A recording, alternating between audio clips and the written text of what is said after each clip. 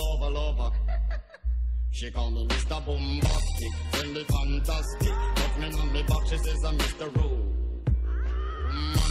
call me fantastic. But me on me back, she says I'm Mr. Romantic.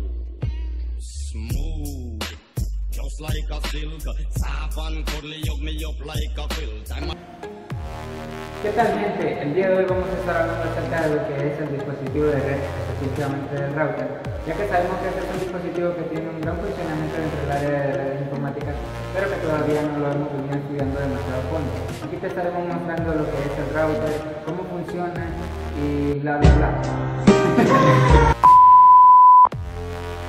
Bueno amigos, yo les estaré hablando sobre lo que son las direcciones. Existen dos tipos de direcciones, la dirección IP y la dirección MAC nos servirá para eh, agregar usuarios, bloquearlos y para les enseñaremos cómo configurar su router, cómo ingresar usuarios, cómo bloquear usuarios. Que, Otra vez al final digo la red. A continuación.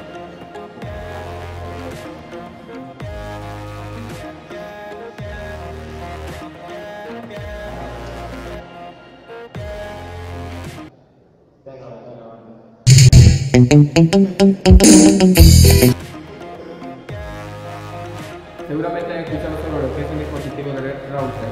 Pero ¿qué es un router? Un router es un- como su palabra. Un-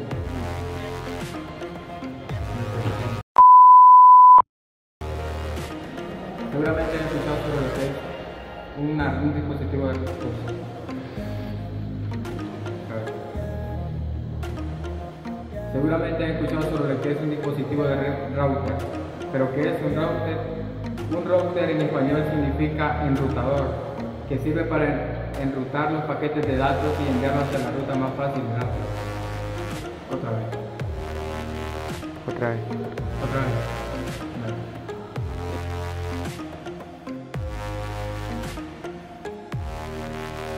Bien amigos, yo les estaré explicando lo que es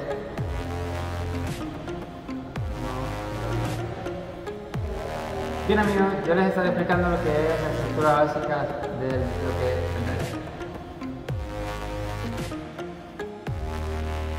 el. Bien amigos, yo les estaré explicando lo que es la estructura básica de lo que es un router.